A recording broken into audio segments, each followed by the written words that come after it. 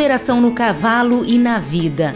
A laçadora da segunda temporada de Mulheres na Doma, que veio aprender a lidar com potros chucros, venceu um câncer de mama e conta pra gente como o laço foi importante nesse processo. Animais que produzem assim, ó, um, cavalo, um cavalo campeão e nove animais que, que não se enquadram dentro do nível de qualidade que tu quer, acaba te dando um impacto negativo na tua criação. Pausa na pandemia, prontos para a retomada. Nunca desistimos, nem soltamos nenhum animal do que a gente tinha preparado. Ainda hoje, os cuidados para melhorar a qualidade de vida da égua, que já foi obesa e sofre de laminite. Ela é a segunda maior causadora de óbitos em cavalos. De quebra, as fotos e vídeos que você manda pra gente. Do nascimento à glória é longo o caminho de um cavalo. Dia a dia precisa estar forte, equilibrado, bem nutrido. A Supra está presente em todas as fases da vida do cavalo com um programa de nutrição completo para criação, desenvolvimento, performance. Do nascimento à vitória, a Supra alimenta campeões. Supra, mais do que produtos, resultados.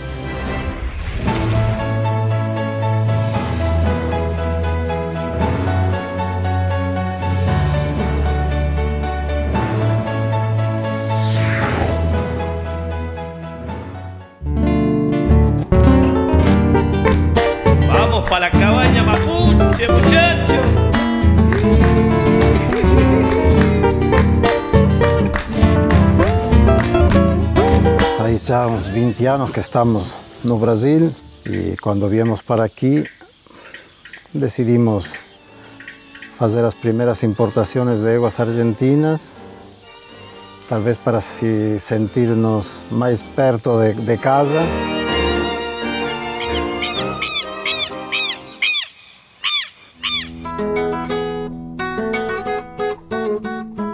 Estamos no município de Pantano Grande, onde se desenvolve a criação.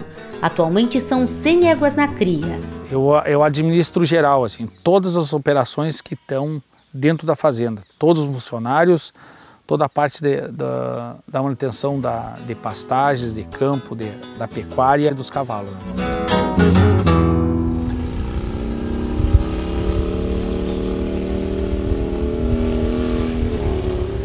Não faz força com o cavalo aqui. Se ele for com a cabeça lá, tu vai junto lá. Se ele vier para cá, tu vem junto aqui. Tu não vai fazer força com ele.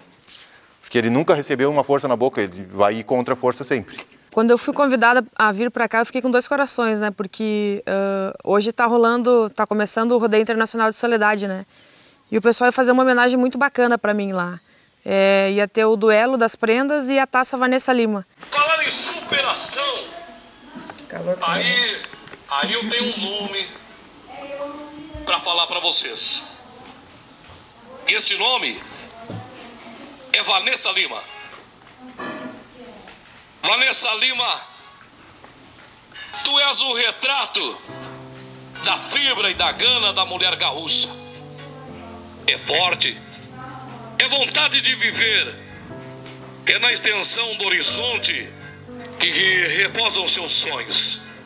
Homenagem do 13º Rodeio Internacional de Soledade a esta prenda que participa desde as primeiras edições desta nossa festa.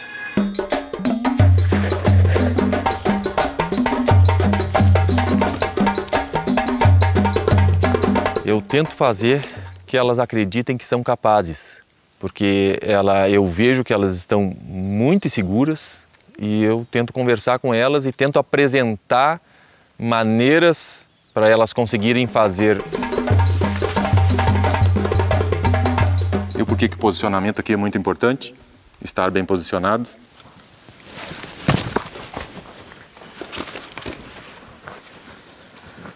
Às vezes, quando é muito difícil, a gente fica segurando um pouquinho mais para cá, ó, tá? só para o bocal não cair da boca. Tá. Aí deixa, deixa um, um pouco e depois aperta. É, mas não puxa. personal trainer, laçadora, em novembro de 2018, a Vanessa descobriu que estava com câncer na mama direita. foi uma reviravolta na tua vida, Vanessa. Foram três cirurgias, dez químios, uh, quase oito meses de tratamento. Foi bem, bem difícil, bem, bem complicado. Uh, bastante desgaste, tanto emocional quanto físico, né? Mas passou. A Vanessa uh, tinha um cabelo comprido, loiro, o cabelo caiu, ela raspou. E mesmo assim, né, diante de todos os, uh, os percalços que, que o tratamento uh, traz, ela não parou, ela não parou de, de laçar, muito pelo contrário, né? Foi no laço, foi junto com o cavalo que ela encontrou forças, né, para superar esse momento difícil. Me conta, conta pro pessoal como é que foi isso, Vanessa. Então, uh, a minha primeira consulta com o oncologista, ele falou um monte de coisas que eu não poderia mais fazer, né, na, prime na primeira consulta e falou que eu não ia poder isso, não ia poder tomar chimarrão, não ia poder tomar água da torneira, não ia poder um monte de coisas, né? E quando ele terminou, ele me disse: "Tu tem alguma pergunta?" E eu olhei para ele e disse: "Eu só preciso saber de uma coisa, eu posso continuar laçando?" E aí ele deu risada, né, do tipo: "Não acredito que tu tá me perguntando isso." E ele falou: "Olha, se tu conseguir, pode, né?" Então foi isso que me manteve bem, Valéria, é eu poder ir nos meus rodeios. Então eu fazia a químio, ficava ruim cinco, seis dias e queria ficar boa logo para poder seguir nos meus rodeios, com os meus treinamentos e, e seguir laçando. Eu te digo que o cavalo foi mais de 50% do meu tratamento. Se você não tem uma coisa assim que, que, que te mexa, que te move, que tem essa paixão, eu acho que a pessoa se abala bastante porque o tratamento é uma coisa bem agressiva, né? Ainda mais para mulher, para gente que, que mexe um pouco com a estética, né? Então, o cavalo foi onde eu consegui me, me manter.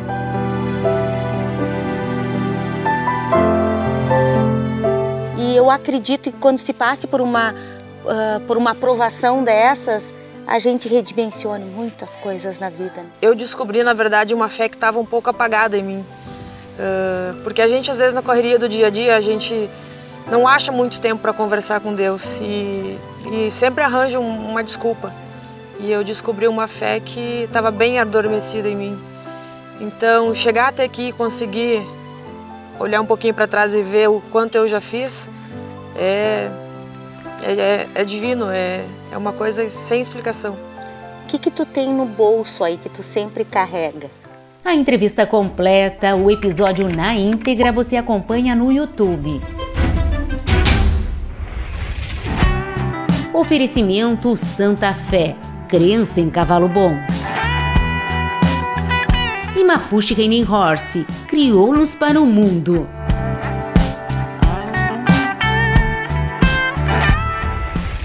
Era muito importante que esses cavalos e essas éguas também reproduzissem aquelas eras.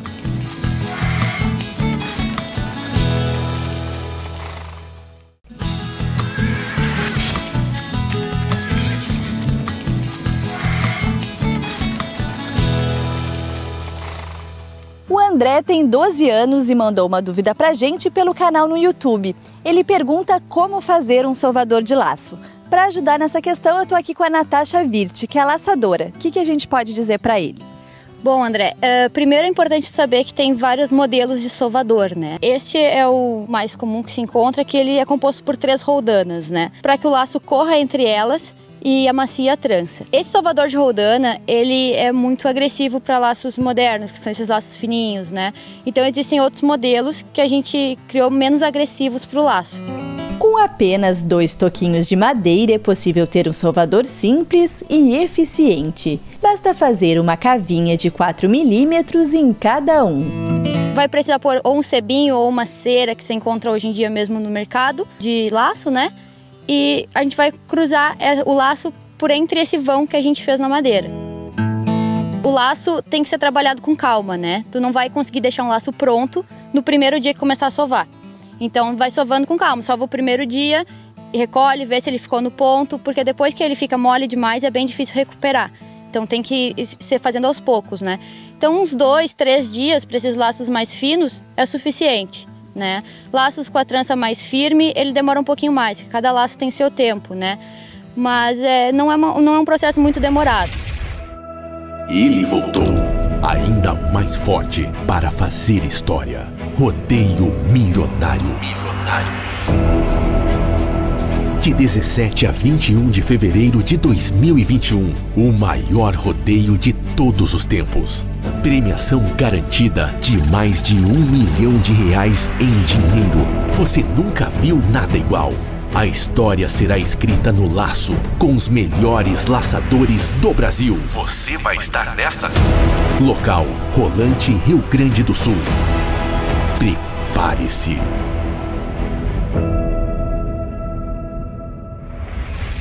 Há praticamente três meses da Expo Inter, a Associação Brasileira de Criadores de Cavalos Crioulos anuncia a retomada das provas de seleção. No ciclo passado, a entidade realizou 1.019 eventos. Em função da pandemia, serão 23. Até março, das 50 credenciadoras previstas, 31 já tinham sido realizadas. Olho na tela para conferir o que vem por aí.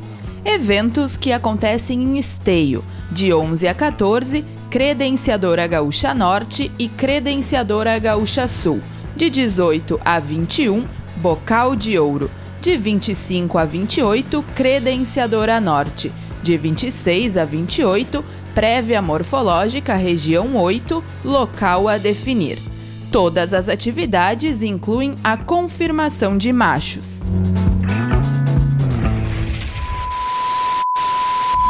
Você na TV. Confiança.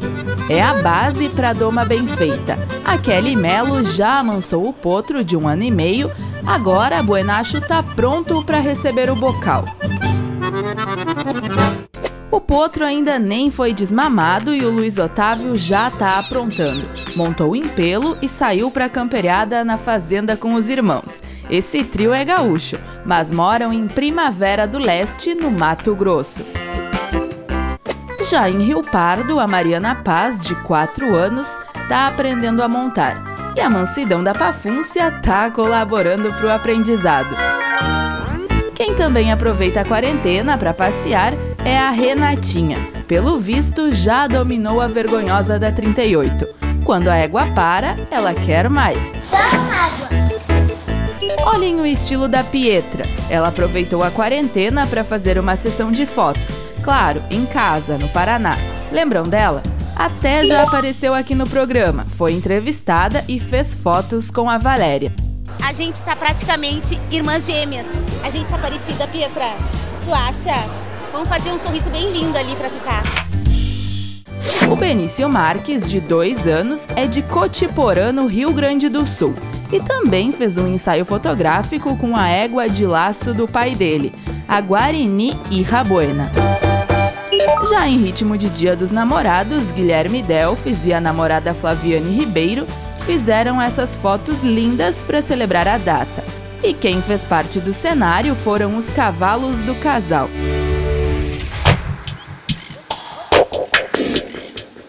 A gente sempre buscou cavalos que fossem bonitos, esteticamente bonitos, que fossem muito identificados com o padrão da raça e que fossem funcionais. Uh, isso aí é uma coisa que sempre nos norteou. Mas nós colocamos um algo a mais nisso aí. Uh, era muito importante que esses cavalos e essas éguas também reproduzissem o que elas eram. E isso é uma coisa mais difícil de conseguir e também que elas reproduzissem muito parecido com o que elas são nas gerações e pudesse haver progresso. Isso também é uma coisa difícil de conseguir. E eu tenho orgulho satisfação de, de dizer que esse sonho maluco meu e do meu pai está dando frutos. Animais que produzem assim, ó, um, cavalo, um cavalo campeão e nove animais que, que não se enquadram dentro do nível de qualidade que tu quer, acaba te dando um impacto negativo na tua criação. Na vitrine até pode parecer que tu acertou, mas aí tu vai olhar no teu campo, na tua manada, na tua criação, tu vê que tu na verdade deu um pouco para trás. E as pessoas cansaram desse tipo, de usar esse tipo de cavalo. Eu acho que elas querem um cavalo que realmente uh, traga um melhoramento efetivo, que dê um passo para frente em todos os aspectos. E no nossas, na nossa seleção, a gente sempre privilegiou isso. é, que a gente chamava de linhagens uh, que não sejam segregantes, que não deem muito disparelho, né? Que tenham uma previsibilidade de que elas vão produzir parecido com aquilo que elas são. E isso é uma coisa que o pessoal está entendendo a utilidade desse tipo de animal, que é uma ferramenta muito preciosa. Chega daquela história de ter que improvisar, adaptar. A R2 Erarte tem a linha infantil.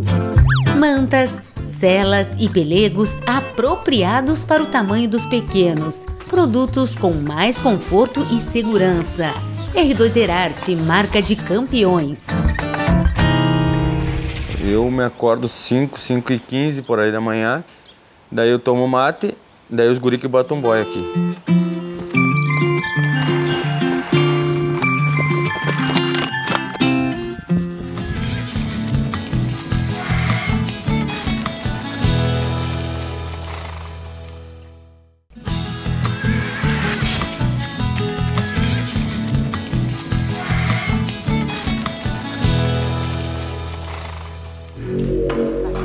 Tem muita dificuldade para andar, mas já esteve pior.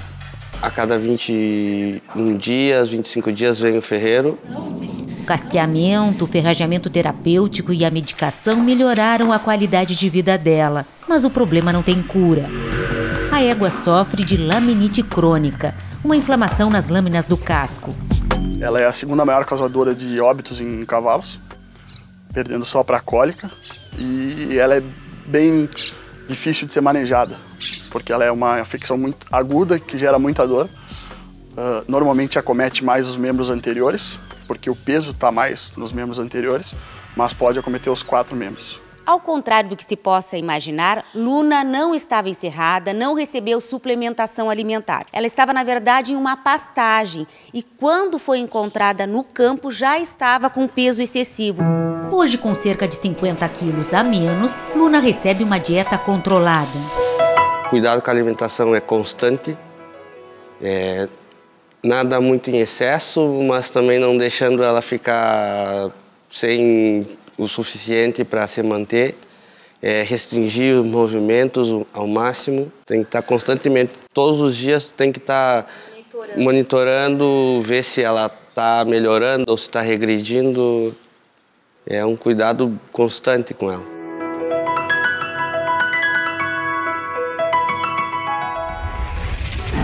Um oferecimento Estância Vendramin, construindo o futuro com passos firmes. Calabaça, há sete décadas selecionando os melhores. Devia fazer uns três a quatro meses que ela devia estar no, já com a laminite diagnosticada. Levando em conta o histórico de Luna, podemos citar três causas prováveis para a laminite dela. A primeira seria o excesso de peso.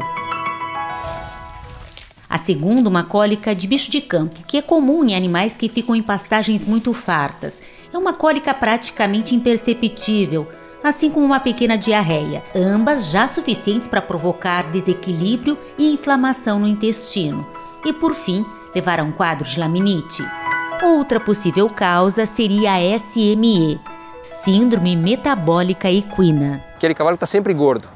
Não interessa se está comendo bem, está comendo mal. Aquela égua de campo que a gente sabe que está sempre de pelo liso, inverno, verão, esses indivíduos são os clássicos síndrome metabólica. A síndrome metabólica equina está diretamente relacionada à seleção natural do cavalo crioulo, onde sobreviviam os mais rústicos, que tinham melhor metabolismo para aproveitar o alimento. A partir do momento que a gente começa a concentrar esses animais na nossa mão, trazer para dentro de casa ou, ou, artificializar a criação, seja melhorando uma pastagem, a gente of oferece um padrão alimentar que esses indivíduos não estavam acostumados existe então uma grande probabilidade dele se tornar obeso. A questão é então é enxergar o que está acontecendo na gestação da égua e entender que essas éguas é, que estão acumulando gordura durante a gestação ou que tem picos de alimento, né, que esse pico de glicose que a égua está, o feto vai reconhecer e depois que ele nasce, ele não tem noção temporal, porque isso é cérebro, né? ele não está pensando sobre o que aconteceu, ele simplesmente o cérebro dele responde da mesma forma. Então, toda vez que ele tiver picos de, glicemia, ele vai responder como ele, ele respondeu lá na gestação. E aí o que, que acontece? Nós temos potros hoje que, que são síndrome metabólica, que é um, um, complexo, mas nós temos potros que têm resistência à insulina. Né?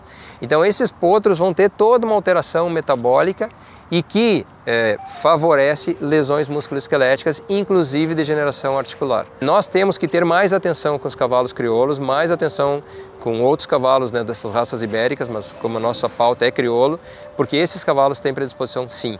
Né? E a origem está provavelmente nesse início lá na gestação.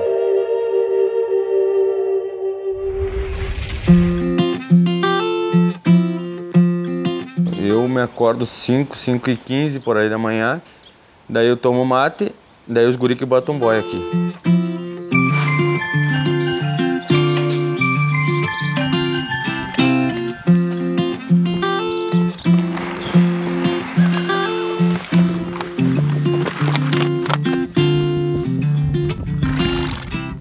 Tem que estar tá no dia a dia dele. Às vezes para pegar estado, tem uns que pegam um estado até demais, né? tem uns muito mansos. Né? Aí tem que diminuir. Aí tem que diminuir a boia, assim eu manejo. Aumento, baixo. Indiferente à pandemia, o ritmo por aqui não mudou. Nunca desistimos, nem soltamos nenhum animal do que a gente tinha preparado e planejado para esse ciclo. Que aconteceu é que nós tiramos um pouquinho o pé do preparo, né? Deixamos eles um pouquinho perderem peso, aproveitamos isso para aperfeiçoar um pouco mais a doma e seguimos no nosso trabalho normal da estância, que isso foi uma coisa super positiva, porque nós nos mudamos aqui para Paineiras e aproveitamos isso para revisar muita coisa que às vezes não dava tempo.